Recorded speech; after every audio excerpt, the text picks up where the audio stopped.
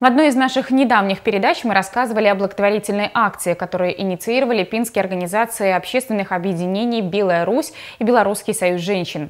В рамках марафона поддержки они закупили и передали медучреждениям города дезинфицирующие растворы, средства защиты, а также очень необходимые рециркуляторы воздуха. Но на этом благие дела не заканчиваются. Продолжение темы в материале Ирины Иванцовой.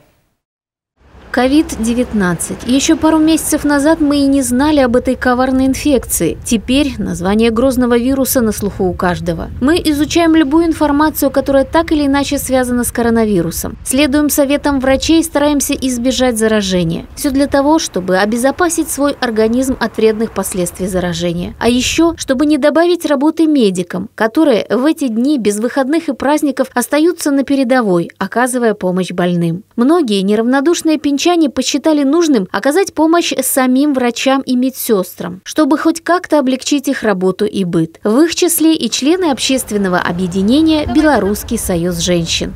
Мы уже э, оказывали небольшое содействие для Пинской больницы и продолжаем уч э, участие в нашей республиканской акции «Марафон поддержки». И вот на сегодняшний день первичная организация города Пинска по-разному откликнулась на участие в этой акции. Первичка БСЖ ЖРЭУ города Пинска перечислила на республиканский счет организации почти тысячу рублей. Женщины комбината хлебопродуктов, хлебозавода, мясокомбината, женколлективы РСУ, средней школы номер один, аграрного технологического и аграрно-технического колледжей и многие другие приобрели продуктовые наборы и средства гигиены и передали их медикам городской больницы. К ним присоединяется все больше неравнодушных пинчан. От себя лично я хотела бы Э, сказать огромное спасибо, то, что в городе люди есть очень добрые. Э, таких массовых акций, конечно, не было, но э, лично каждое отделение имеет своих друзей, скажем так, своих спонсоров, своих каких-то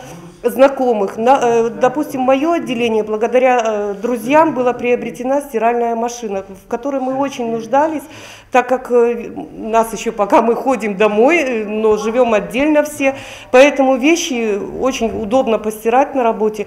Э, хотелось бы, конечно, если можно назвать фамилии, вот это Полховский Олег э, из Оснежец, предприниматель частный, который вообще никогда в беде не оставляет, Сележицкий Игорь, Саша Головин, это замдиректора теплосетей, я им просто очень благодарна. А то, что Союз женщин не оставил бы женщин, это понятно. Наша больница и вся медицина, и все наши медицинские работники выражают огромную, огромную благодарность всем, всем пенчанам, которые нам сегодня помогают. Это говорит о том, что мы вместе. Раз мы вместе, значит мы скоро победим. Вот и все. Большое вам всем спасибо. Такие же наборы активисты Белорусского союза женщин передали и в лечебно-диагностический центр, который временно стал домом для медиков. В это непростое время они, чтобы избежать возможного заражения коронавирусом и оградить своих родных и близких от этого, поселились в гостинице. Кофе, чай, сладости, средства гигиены им будут как нельзя кстати.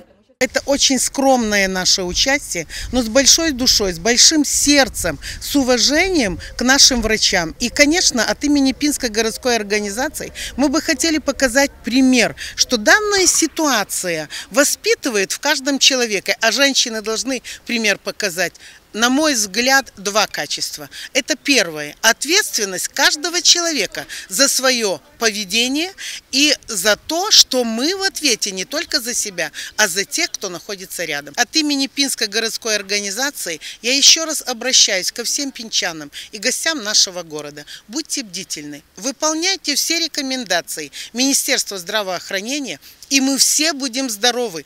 И очень скоро мы вместе будем праздновать победу, будем участвовать в массовых мероприятиях. И Пинская городская организация Белорусского союза женщин всем нам этого желает.